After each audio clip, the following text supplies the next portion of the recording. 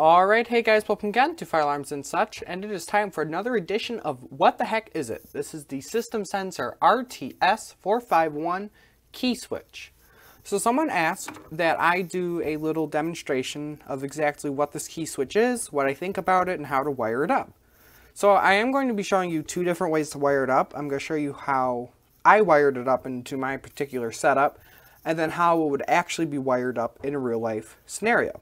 So first off, this is the switch itself. You've seen it before. It's a basic red and green LED. Your key switch that goes momentary to reset and then, um, oh my gosh, what's the word? Locking over to test. And then to get the key out, you have to turn it back to on.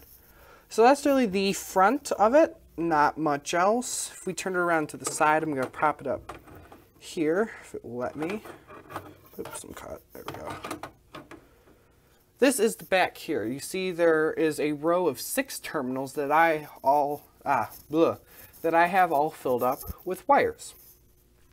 So terminals one and two, number one, that is your alarm LED.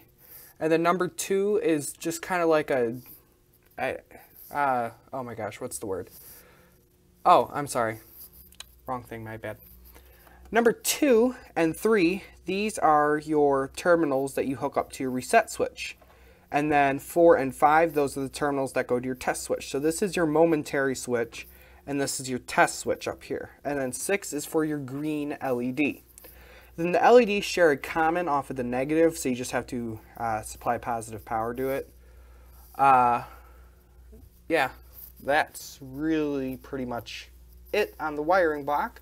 So you got alarm LED, reset, test, and your green LED. So the way that this would normally be wired up is your red LED would go to your duct smoke detector because this is a duct smoke detector key switch. So, you know, you have your detector way up in a duct, well not in a duct, but on a duct way up that you can't reach. So this is a remote test station for it. So what you do is there's three diagrams that you can follow. I'm not going to go into them, but here they are. This is the documentation for the key switch. So you see these are your duct detectors. It's pretty simple. You basically, you know, you take your red LED and you hook up to the red LED spot.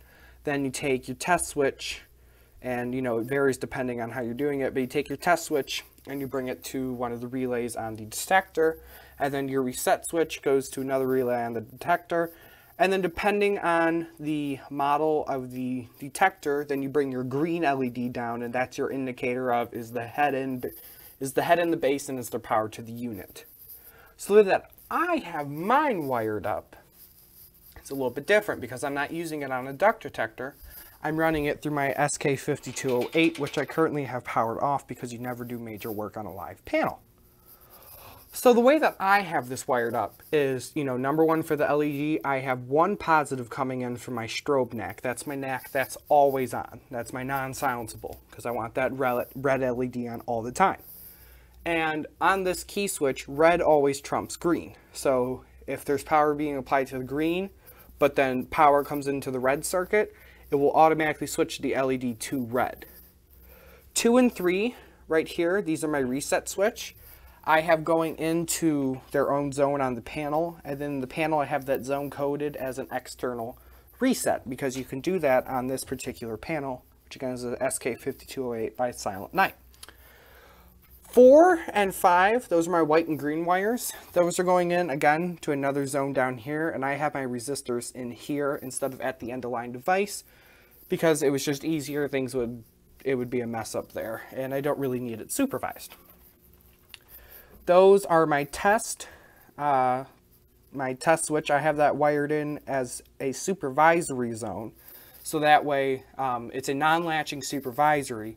So when I'm done doing a NAC test, I can just turn it back and it resets the panel, or it doesn't reset the panel, but just resets the zone on its own and you don't have to fiddle with the panel at all.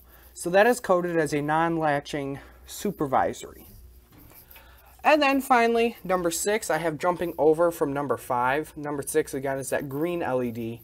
And basically what the jumper is doing is saying whenever there, whenever these zones have power. So whenever the panel is ready and actually checking zones, the green LED will be on. And then once an alarm goes off, the positive from my NAC will come in and switch the LED back to red.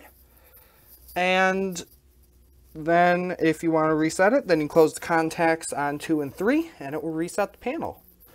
So, yeah, that's pretty much it. I think it's a it's a really nicely made key switch.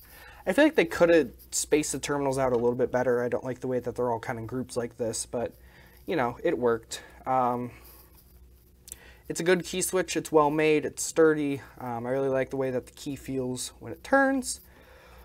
I have had no issues with it, and I don't really know of a lot of people who have. You just gotta, uh, this little jumper trick uh, is one that I don't see a lot of people utilize to get the green LED to go, so you just basically have to jumper it somewhere where positive power is always going to be applied. So, I gotta find a pull station that works. Uh, here's one. Thank you guys for watching, and as always, have a wonderful day.